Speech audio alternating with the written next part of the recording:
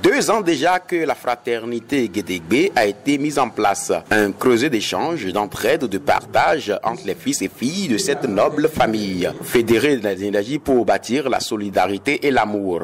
Guédégbé signifierait amour, l'acceptation inconditionnelle de l'autre.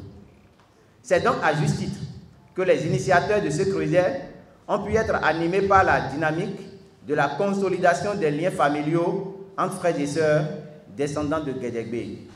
Quelle joie et quel honneur que de pouvoir marcher sur les traces de ces aïeux.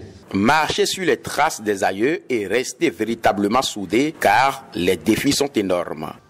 La fraternité Guédégbé, sur ces traces, ne ménagera aucun effort pour promouvoir les valeurs ancestrales de notre famille, celles qui constituent aujourd'hui notre seule et unique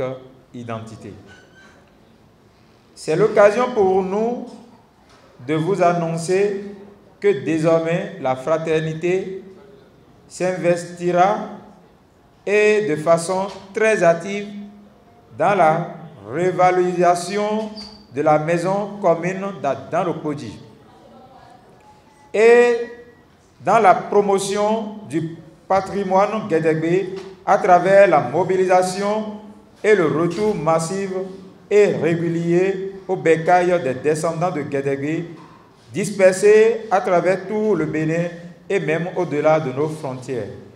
Un appel est lancé pour une grande mobilisation. Que nos frères, nos soeurs, nos grands frères de la famille Guédégué qui sont en rang dispersé, qui ne sont pas encore informés de la dite structure n'ont qu'à essayer de s'approcher, c'est notre chose.